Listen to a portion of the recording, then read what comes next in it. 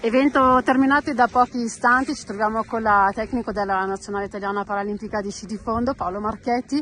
Missione compiuta innanzitutto, giornata memorabile, al di là che sia stato stabilito questo record sull'ora. Sì, vi ringrazio, ringrazio Livigno, ringrazio Gianfranco per l'impegno, siamo riusciti ad organizzare questo, questo, evento, questa manifestazione al fine di farci conoscere, di far conoscere il movimento paralimpico, di far passare il messaggio che lo sci di fondo possono, può essere praticato da chiunque con le giuste accortezze come ho già ripetuto in diverse occasioni. Questi 5 km e 700 metri sono stati un ottimo un ottimo punto di partenza che ci porterà ad organizzare altri eventi per, per i prossimi anni. Un applauso indubbiamente all'artefice di questa impresa, al tenente colonnello Gianfranco Paglia, ma a tutti i suoi compagni che l'hanno seguito, l'hanno sostenuto. Siete una piccola grande famiglia, come ho sempre ribadito. Quest'oggi anche a corolla di questo evento, anche ragazzini dello Sporting Club Livino. Insomma, davvero una giornata di festa.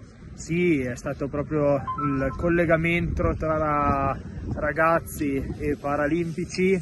Avevamo detto ragazzi fate voi, vi dividete voi come volete, invece abbiamo voluto accompagnarlo dal primo all'ultimo metro di quest'ora, quindi un grosso grazie a tutti loro. So che gli chiedo un sacco di sacrifici lontano da casa, stiamo via tantissimi giorni, ma loro non ci deludono mai e non ci deluderanno neanche durante questi eventi di gare e di competizioni verso Milano Cortina. Che messaggio è emerso quest'oggi Paolo secondo te?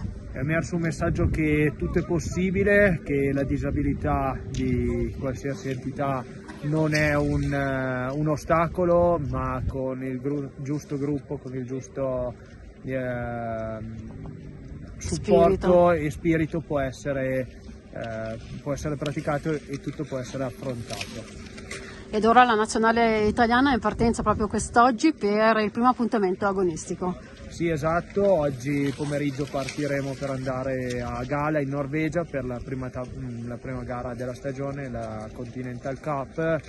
Andremo a fare il punto della situazione, capire dove, dove siamo per poi tornare qua a Livigno e ritornare a lavorare forti e decisi verso le prime tappe di Coppa del Mondo di gennaio. In bocca al lupo e grazie, buona stagione. Viva il lupo, alla prossima.